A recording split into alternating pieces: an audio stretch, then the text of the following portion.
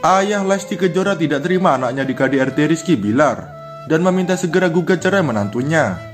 Namun sebelum lanjut mohon dukung channel ini dengan like dan subscribe dulu ya. Dugaan KDRT yang dilakukan Rizky Bilar kepada Lesti Kejora menjadi pukulan besar bagi sang ayah.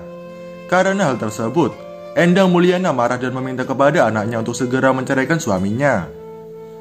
Kabar kekerasan dalam rumah tangga atau KDRT yang dilakukan Rizky Bilar kepada Lesti Kejora tersebut diketahui oleh Endang Mulyana pada saat diberitahu lewat telepon oleh salah seorang asisten yang bekerja di rumah anaknya itu kepada sang ayah. Dan setelah mendengar kabar tersebut, ayah dari Lesti Kejora, Endang Mulyana menangis dan menjerit karena merasa tidak sanggup memikirkan anak yang disayanginya mengalami dugaan KDRT oleh Rizky Bilar.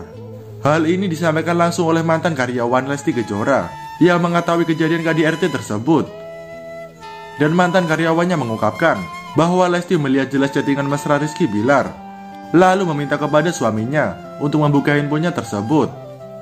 Tetapi Rizky Bilar malah menyalahkan sang istri, sehingga terjadi pertingkaian dan Lesti pun menjerit meminta diantarkan ke rumah orang tuanya pada saat malam kejadian tersebut. Rizky Bilar pun sangat marah mendengar ucapan Lesti ingin diantarkan pulang ke rumah orang tuanya dan terjadilah kekerasan dalam rumah tangga mereka.